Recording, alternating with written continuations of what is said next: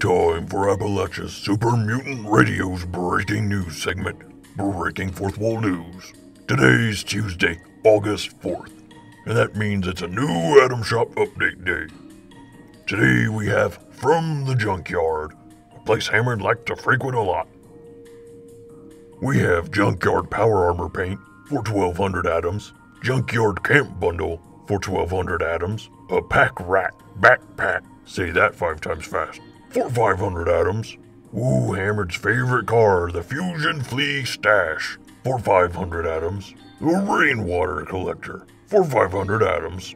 And a Mothman Cultist Tripod Altar, for 250 atoms.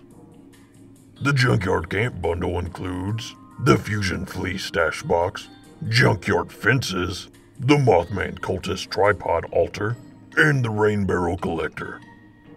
And this has been your Appalachia Super Mutant Radio's breaking news segment, Breaking Fourth Wall News.